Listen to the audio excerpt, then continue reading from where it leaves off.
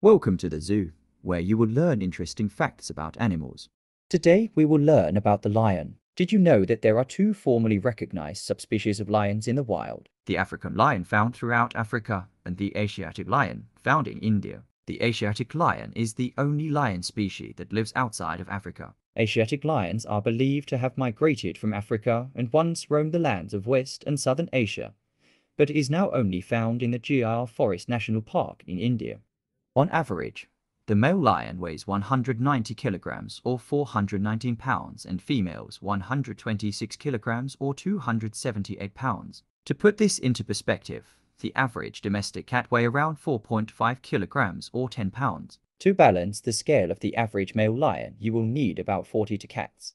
Lions are carnivores, that means they only eat meat and may either hunt in prides or alone. They will stalk their prey until they get close enough to pounce, and if they are not successful, a chase will ensue. When hunting in prides, the kill will usually be initiated by the lioness.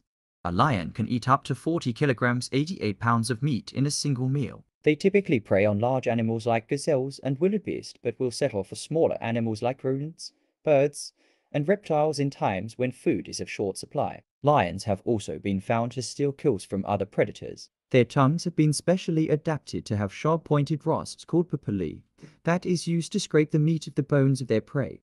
In the wild, lions usually breed once in two years. During the mating season, they generally mate every 20 to 30 minutes. The frequency of the copulation stimulates the ovulation of the female and ensures paternity for the male by limiting the possibility of other males mating with the female. The gestation period is about 110 to 120 days, and the female can give birth at any time of the year, with an average litter size of 1 to 6 cubs.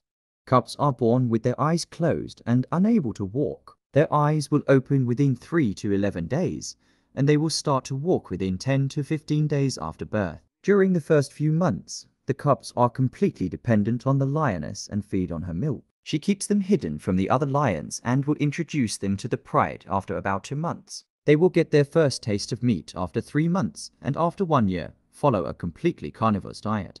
Thank you for watching. If you like the content, please like and subscribe for more on your favorite animals.